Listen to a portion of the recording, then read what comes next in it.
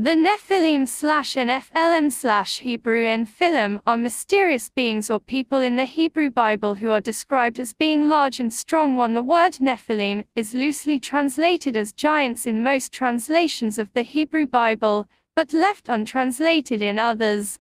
Some Jewish explanations interpret them as hybrid sons of fallen angels, demigods. The main reference to them is in Genesis 6 1 4 but the passage is ambiguous and the identity of the Nephilim is disputed 1-2 according to the Book of Numbers 1.33 pm. A report from 10 of the 12 spies was given of them inhabiting Canaan at the time of the Israelite conquest of Canaan. A similar or identical biblical Hebrew term read as Nephilim by some scholars or as the word fallen by others appears in the book of Ezekiel 32-7 and is also mentioned in the Deuterocanonical books Judith 16.6-16.7 Baruch 326-28 and Wisdom 14.6. The Brown Driver Briggs, Lexicon 1908, gives the meaning of Nephilim as giants and holds that proposed etymologies of the word are all very precarious. 5. Many suggested interpretations are based on the assumption that the word is a derivative of Hebrew verbal root, NPL 4. Robert Baker Girdlestone 6 argued in 1871 the word comes from the Hiphil causative stem, implying that the Nephilim are to be perceived as those that cause others to fall down. Ronald Hendel states that it is a passive form ones who have fallen grammatically analogous to packed one who is appointed i.e. deputy or overseer so one who is bound i.e. prisoner, etc. 7 8. The majority of ancient biblical translations including the Septuagint Theodotion Latin Vulgate Samaritan Targum Targum Onkelos and Targum Neofiti interpret, the word to mean giants 9 Symmachus translates it as the violent ones 10 11 12 and Aquila's translation has been interpreted to mean either the fallen ones 10 or the ones falling upon their enemies. In the Hebrew Bible there are three interconnected passages referencing the Nephilim. Two of them come from the Pentateuch. The first occurrence is in Genesis 6 1-4, immediately before the account of Noah's Ark. Genesis 6:4 reads as follows. Most of the contemporary English translations of Genesis 6:1-4 and Numbers 1:33 pm render the Hebrew Nephilim as giants. This tendency in turn stems from the fact that one of the earliest translations of the Hebrew Bible, the Septuagint, composed in the 3rd or 2nd century BC, renders the said word as giants. The choice made by the Greek translators has been later adopted into the Latin translation the Vulgate compiled in the 4th or 5th centuries, which uses the transcription of the Greek term rather than the literal translation of the Hebrew Nephilim. From there the tradition of the giant progeny of the sons of God, and the daughters of men spread to later medieval translations of the Bible 22. The decision of the Greek translators, to render the Hebrew Nephilim as Greek giants is a separate matter. The Hebrew Nephilim means literally the fallen ones and the strict translation into Greek would be peptokotes, which in fact appears in the Septuagint of Ezekiel 32:22-27. It seems then that the authors of Septuagint wished not only to simply translate the foreign term into Greek, but also to employ a term which would be intelligible and meaningful for their Hellenistic audiences. Given the complex meaning of the Nephilim which emerged from the three interconnected biblical passages human divine hybrids in Genesis 6, autochthonous people in Numbers 13 and ancient warriors trapped in the underworld in Ezekiel 32, the Greek translators recognize some similarities. First and foremost, both Nephilim and giants were liminal beings resulting from the union of the opposite orders, and as such retained the unclear status between the human and divine. Similarly dim was their moral designation and the sources witnessed to both awe and fascination, with which these figures must have been looked upon. Secondly both were presented as impersonating chaotic qualities, and posing some serious danger to gods and humans. They appeared either in the prehistoric or early historical context, but in both cases they preceded the ordering of the cosmos. Lastly, both giants and Nephilim were clearly connected with the underworld and were said to have originated from Earth, and they both end up closed there in 22. In 1 Enoch, they were great giants, whose height was 300 cubits. A cubit being 18 inches 46 centimeters, this would make them 450 feet 140 meters tall.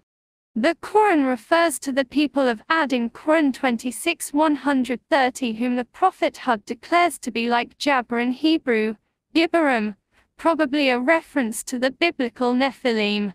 The people of Ad are said to be giants, the tallest among them 100 feet 30 meters high 23 however, according to Islamic legend the Ad were not wiped out by the flood, since some of them had been too tall to be drowned. Instead God destroyed them after they rejected further warnings 24 after death, they were banished into the lower layers of hell. All early sources refer to the sons of heaven as angels. From the 3rd century BC onwards references are found in the Enochic literature the Dead Sea Scrolls, the Genesis Apocryphon, the Damascus document 4Q 180 Jubilees, the Testament of Reuben 2 Baruch Josephus and the Book of Jude compare with 2 Peter 2. For example 1 Enoch 7 2 and when the angels 3, the sons of heaven beheld them they became enamored of them saying to each other come, let us select for ourselves wives from the progeny of men and let us beget children. Some Christian apologists, such as Tertullian, and especially Lactantius shared this opinion. The earliest statement in a secondary commentary, explicitly interpreting this to mean that angelic beings mated with humans can be traced to the rabbinical Targum pseudo Jonathan, and it has since become especially commonplace in modern Christian commentaries. This line of interpretation finds additional support in the text of Genesis 6:4, which juxtaposes the sons of God male gender divine nature, with the daughters of men female gender human nature. From this parallelism it could be inferred that the sons of God are understood as some superhuman beings 26. The New American Bible Commentary draws a parallel to the Epistle of Jude and the statement set forth in Genesis, suggesting that the epistle refers implicitly to the paternity of Nephilim as heavenly beings who came to earth and had sexual intercourse with women. 27 The footnotes of the Jerusalem Bible suggest that the biblical author intended the Nephilim to be an anecdote of a superhuman race. 28 some Christian commentators have argued against this view citing Jesus' statement that angels do not marry 29 others believe that Jesus was only referring to angels in heaven 30. Evidence cited in favor of the fallen angels interpretation includes the fact that the phrase the sons of God Hebrew or sons of the gods is used twice outside of Genesis chapter 6 in the book of Job 1 6 and 2 1, where the phrase explicitly references angels, the Septuagint manuscript Codex Alexandrinus reading of Genesis 6 2 renders this phrase as the angels of God, while Codex Vaticanus reads sons 31. Targum pseudo Jonathan identifies the Nephilim as Shemiaza and the angels in the name list from 1 Enoch. Fallen angels were believed by Arab pagans to be sent to earth in form of men. Some of them mated with humans and gave rise to hybrid children. As recorded by Al-Jahiz, a common belief held that Abu Drum the ancestor of the Drum tribe was actually the son of a disobedient angel and a human woman. The name and idea of Nephilim, like many other religious concepts, is sometimes used in popular culture. Examples include the gothic rock band Fields of the Nephilim, the Renquist Quartet novels by Mick Farren, The Mortal Instruments, The Infernal Devices, The Last Hours, The Dark Artifices, and other books in the Shadowhunter Chronicles series by Cassandra Clare, the Hush Hush series by Becca Fitzpatrick, the book Many Waters by Madeleine L'Engle, and TV series The X-Files and Supernatural.